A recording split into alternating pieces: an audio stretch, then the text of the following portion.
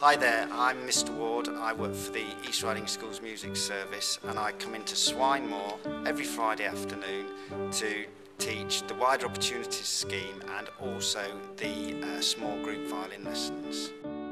Playing a stringed instrument is really good and if you when you get the hang of it it's really fun as well.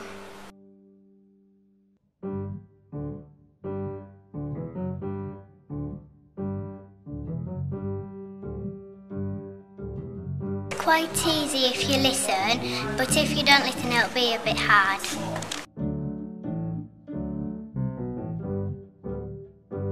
Um, I don't have a violin at home but I really like playing it at school so I probably do about half an hour at school every Friday.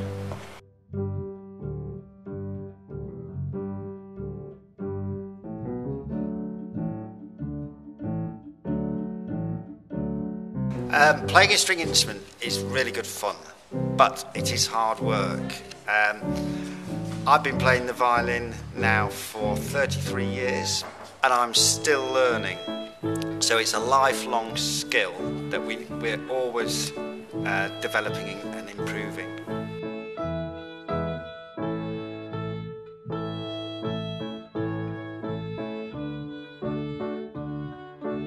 I've been playing the violin since year four.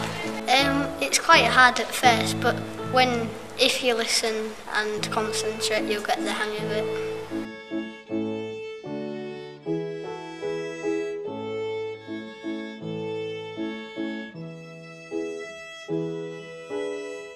When I was studying to be a violin teacher and a violinist, I was doing about six hours practice a day. That was through university. Obviously now I do a lot less.